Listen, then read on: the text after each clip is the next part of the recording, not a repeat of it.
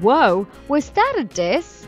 Four months after Zayn Malik left One Direction, the singer made an announcement revealing he's ready to make real music with his new label RCA. Expect new music to come from the former One Direction member soon.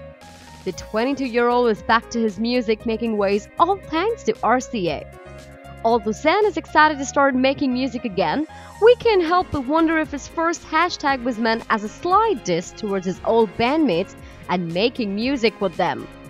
Shortly after that message, Zayn simply tweeted, hashtag RealMe.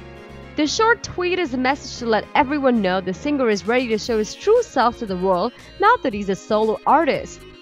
The real music hashtag to his previous tweet wasn't so much as a diss towards his former bandmates, but more of a proclamation to let everyone know he's gonna make his own music.